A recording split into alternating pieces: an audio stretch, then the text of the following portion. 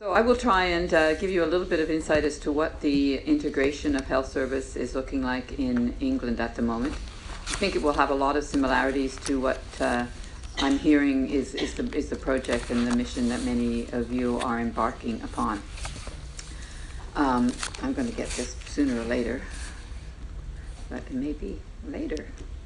It doesn't like me. Space, Space bar. bar. Yes. Okay, so um, I thought I should say a little bit. I'm a bit, you know, I thought it would be quite a bit of explanation to explain what I'm doing here and where I'm coming from into this issue because uh, my day job uh, is actually running uh, a local authority, which in England is uh, called a county council. Um, it's a, it's a, it has many of the functions of a province: uh, social services, education, transport, infrastructure, public health, culture, you know, the whole lot. Um, it we, we have an average uh, annual budget of about 1.6 billion pounds a year. So it's a big operation complex with many different functions. We spend a million pounds a day on social services for adults.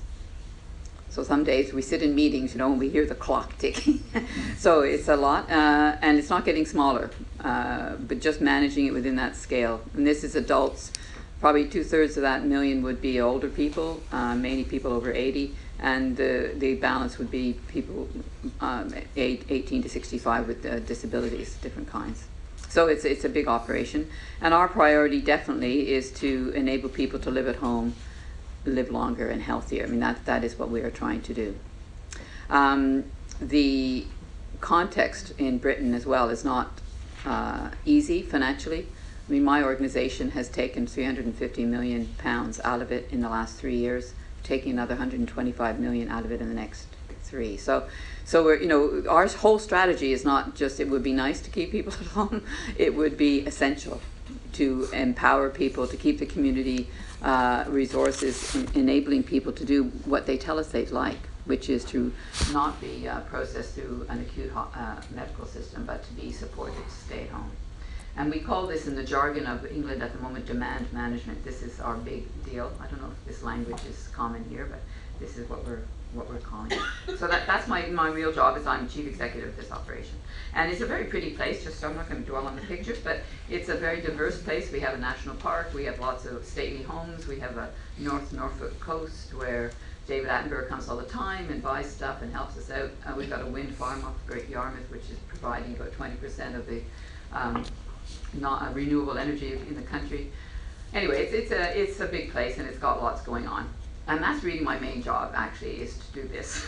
but because uh, I am so interested in healthcare, um, when this new innovation of uh, the NHS, uh, the National Health Service, was introduced, um, the sustainable transformation plans, I, I, had the opportunity. I was invited to uh, to lead this this uh, network of services. Um, and I'll, I'll say a little bit about uh, that here. We, in about five, you know, we have something, a national policy initiative uh, that's called this five-year forward view. If you Google it, you will find a, a, just a rash of policy initiatives. It was launched by uh, the National Health Service England, which is NHSE. Um, and it really tried to give some vision for what the next five years needed to look like. Uh, and it launched some new models of sustainable care. Uh, it was really in a context where um, what we call the Lansley reforms, which were introduced in 2012, had left a very fragmented health and uh, social service system. You'll probably have already noticed that the, the social services are on the local authority side, and the health services are under the NHS. So that in itself creates a different kind of challenge than what you here, have here.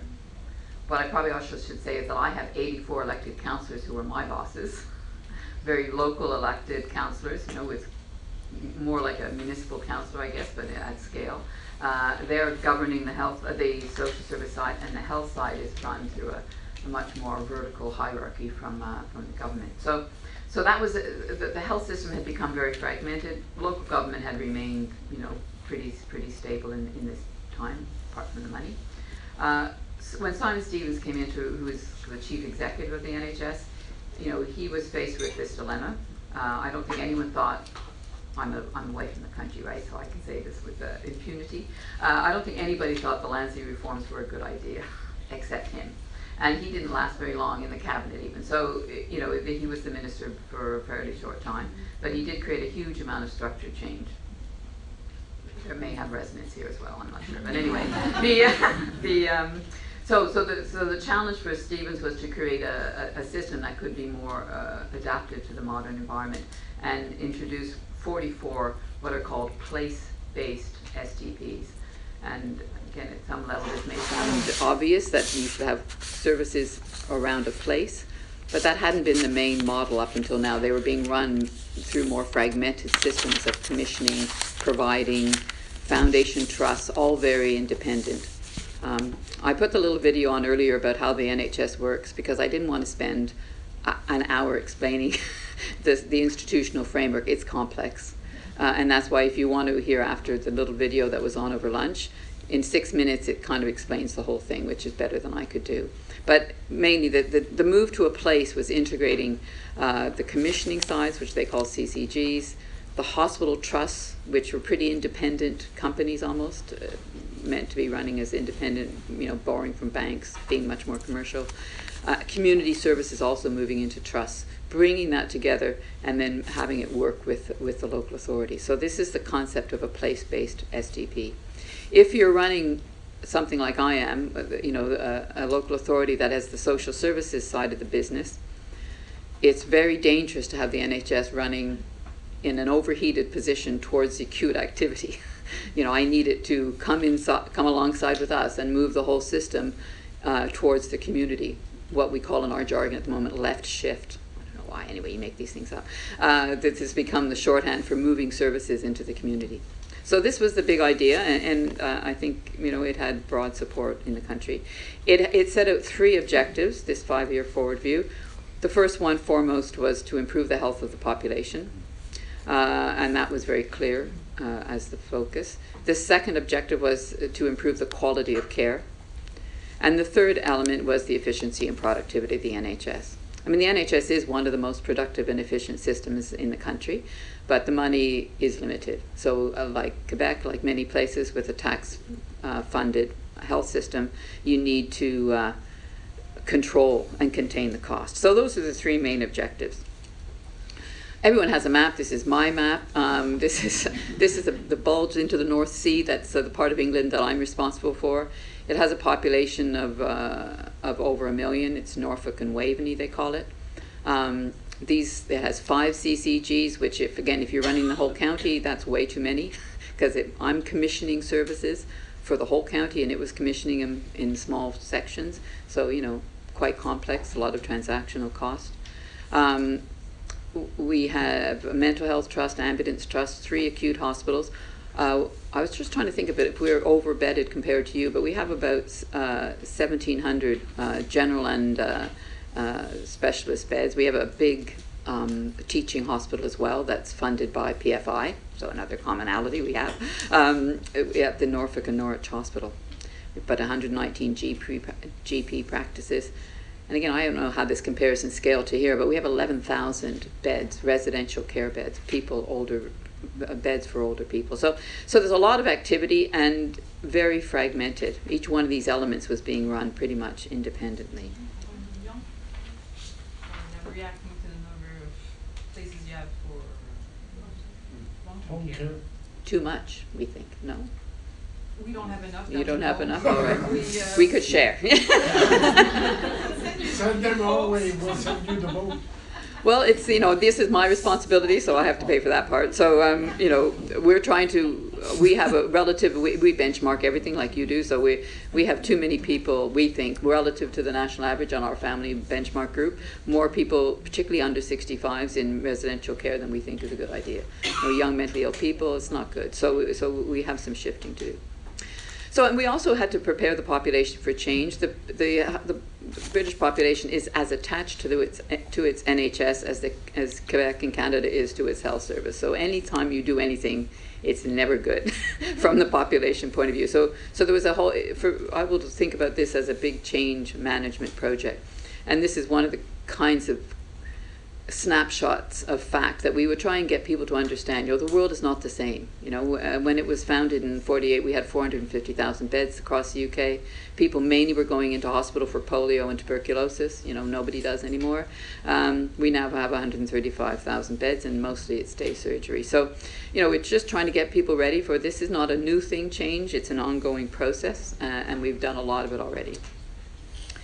Uh, I won't take too long on this. I mean, our population, like yours, is growing.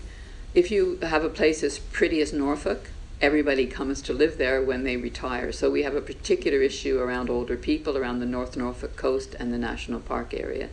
So we have a, we'll have about a 38% increase of people over 75 uh, in the next 10 years. Well, less than that by 2025. We have a big problem with obesity and diabetes and heart disease. Um, people really would prefer to be treated in a home rather than in hospital, and we need to change about 45%. We did a lot of work at actually looking at the work coming into the hospital and seeing how much of it could be shifted out, uh, and that's where the 45% comes from. And I guess there's an overriding imperative. We, there, we quite like to do forecast and modeling. There's a lot of economic modeling that gets done, and if we continued not we do nothing, that's not fair. But if we continue doing what we do now into the future, we reckoned we would be about 415 million pounds short of what we need on a system of about 2.6 billion. So, you know, not possible just to go on as we are.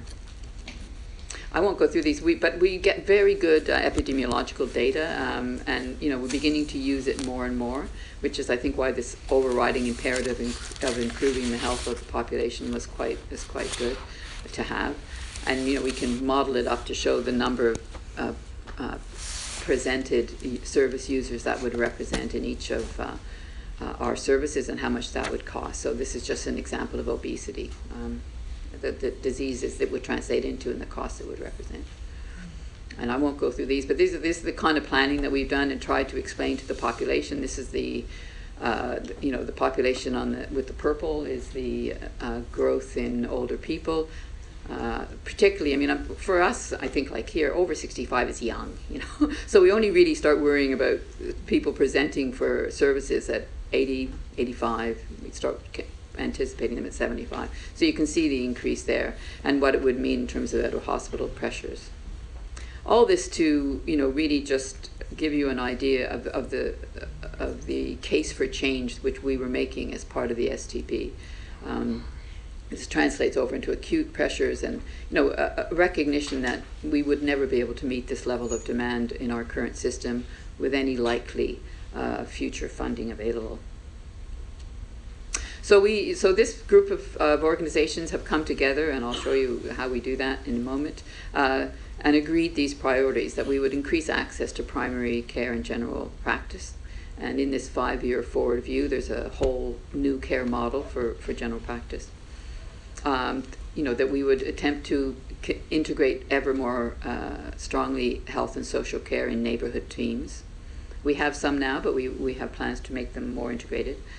Uh, strengthen out of hospital community services, particularly for the frail elderly.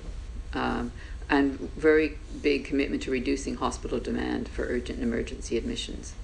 Um, on, and on the opposite of that, you know, I guess it's the same here. If the hospital is, is, is got an unmanaged front door, its elective surgery becomes problematic. You know, the delay is happening. So, so we were trying to stop, you know, manage the front door, reduce demand there to allow the elective uh, surgery. I won't go through our waiting times, but they are still something you can't imagine. I mean, we have four. If, if you if you miss your four-hour wait at the univer- at the emergency, I mean, you're you're on the minister's carpet. You know. I don't think we, I mean, when I was in Montreal, we were not achieving anything like four hour waits at emergency. And this isn't average. It's like no one waits more than four hours. So, so, so we have similar targets for elective surgery. Months have to be hit. So if, you, if you're not on time, you're in trouble. So getting elective procedures up and getting the uh, acute system working across the three hospitals me- and mental health. These, these are our main priorities for the uh, STP plan again, I won't go through these charts, but they, they are really just trying to illustrate that we have committed ourselves to reducing 20% of A&E attendances over the next four years, and uh, that represents about 55,000 attendances. And then we're going to reduce um, emergency admissions by 25,000, another 20%. And these are the ways that we're doing it here. ways in which, you know, I heard from all of you today, very similar to the kinds of things. It's not magic.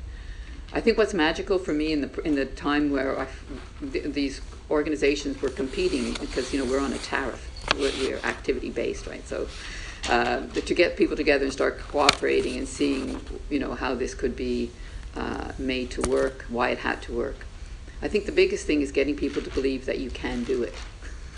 And we have, you a bit of numbers where we have already begun to do it. And I think it's that belief, you know, from a managing of change point of view, which has been to me the most important. Also, length of stays, we've got to reduce those too, and we have plans for doing that. So a year on, I mean, that's that was the first year was really, you know, what what kind of trouble are we in? Big trouble. you know, we can count it, we can see it coming, how, we can begin to see the interventions that we need to do to fix it. Uh, we have to bring the population uh, uh, along a bit, and we have not achieved that by any means well, but it's still, uh, we're trying to, persuade people that change can, is necessary, and some of the change will be good. So we're a year on, and uh, as we moved to the next phase of it, you know, we've moved from plans, as I say, which were mainly about forecasting a future which could be sustainable, to partnerships where we're organizing ourselves now to deliver these plans. And the next stage of the campaign is these accountable care systems. So that's the phase that we've been in in, in the last 18 months.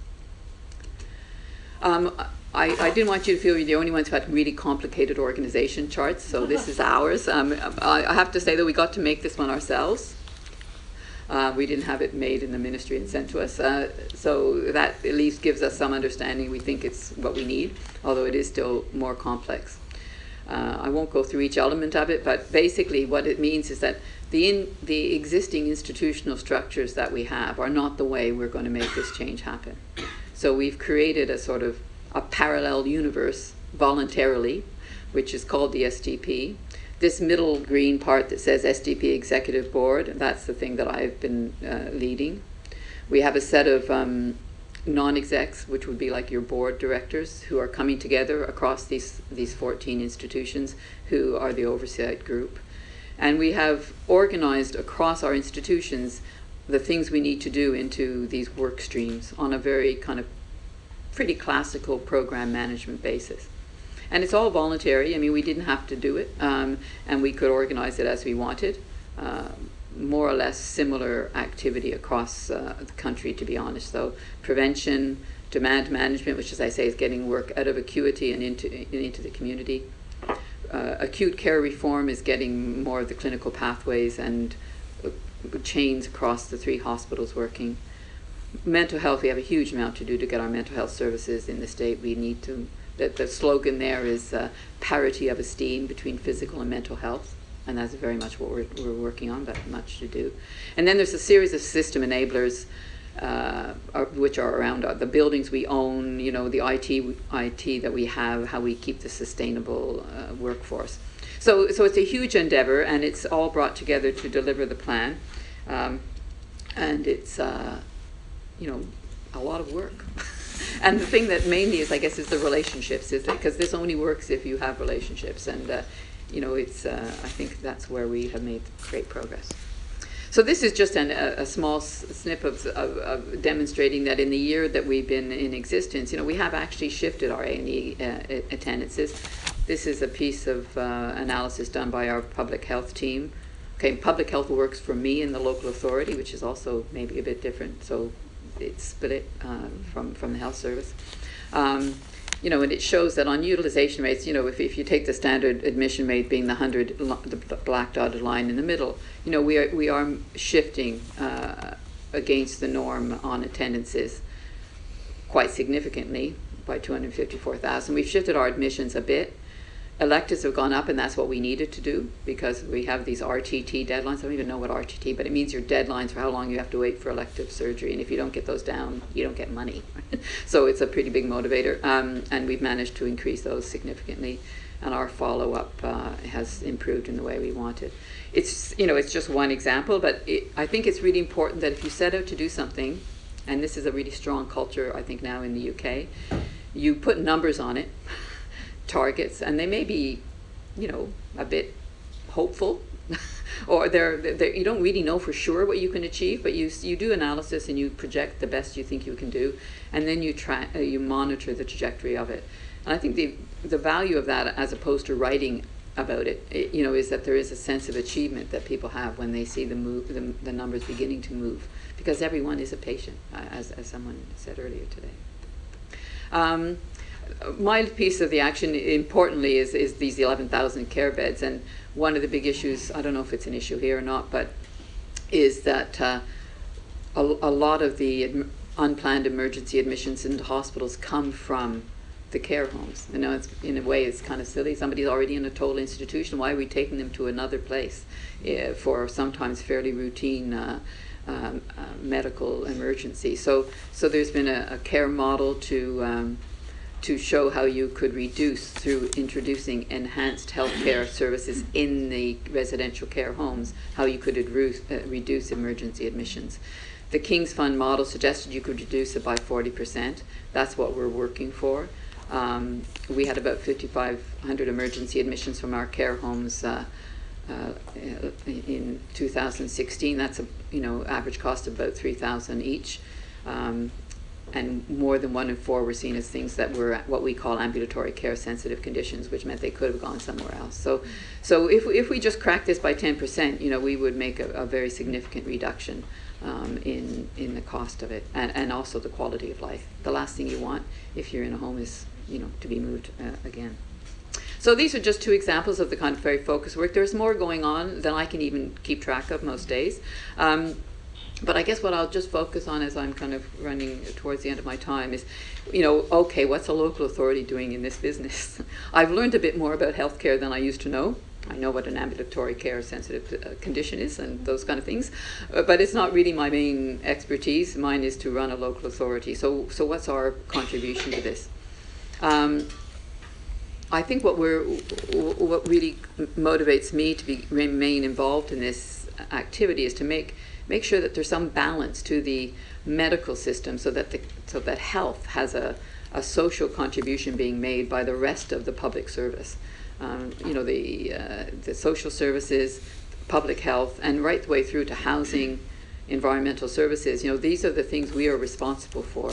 And, if, and, and I think also we probably have a better relationship to the population because I've got 84 councillors who have to get elected every few years. So, you know, this this has an engagement that's a little different than my health colleagues who, who don't need to to worry about the electoral cycle, at least locally. They do nationally, but not locally. So so some of the things we've done here is, you know, is put this huge effort into reducing residential placements so that people can live at home. And we have uh, um, made some success at that, particularly for the under 65s. We've made a big push on what I've called reprofessionalizing social work, and uh, this is my professional origin, I guess, so I'm particularly proud of this. You know, we were into a process, we were measuring people, you know, assessment, everything, uh, and then, you know, figuring out how many points got what kind of thing, and then commissioning that. Uh, and we even have people doing, you know, assessment, somebody else doing care um, package organizing, somebody else doing commissioning, somebody else then uh, invoicing the patients for it. You know, this is all. This was what social work has has become here in Britain, and I guess maybe to some extent here as well. What we're doing is just we're dropping the whole case management system. We're trying to get the social workers to be engaged with clients and as my director of adult services and then stick to them like glue. You know, so not hand them off to lots of different processes, but meet them early, get to know them soon, get to know their family, and then uh, you know not hand them off and just try and assume that they're coming through a door like an assembly line to be measured for a service. They're coming through the door for us to get to know them so that they do not need a service because you know they don't. Service is not life. You know, uh, service is only what you need for a small proportion of the population. So the, changing definitely to a more help and less uh, assessing deficit, more working with strengths. We've had a couple of really successful campaigns to make the county less lonely. We've run this big campaign here in the picture you see in good company.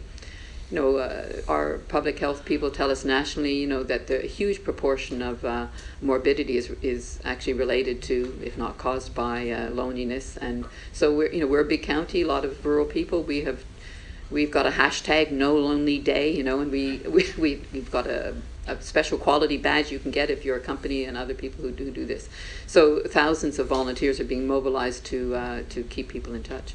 Dementia friendly, you know, we've designed a, there is a national program of dementia friendly villages, and we are, um, we have more of these villages that have embarked on this campaign.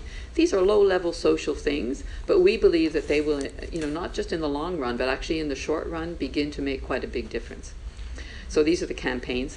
Social prescribing, we're very big on this, uh, and it's one of the main things that my uh, public health people are leading on. I mean, in the olden days, this would be called community work. You know, as an old community worker, it looks a lot like community work, but now it's going to be called social prescribing. It gets way more traction in the health system if you call it that. So I'm I'm flexible. We'll call it that. But basically, it's these people being working in the GP surgeries, uh, working in the communities, linking people with other services. You know, organizing health walks, doing the kind of uh, some of them more structured. The dementia, uh, the obesity, um, uh, diabetes program is more structured, but some of it is just as simple as linking people up with, with the local services. So uh, we have we are investing a lot of a, a lot of money in that, disinvesting it from institutional care.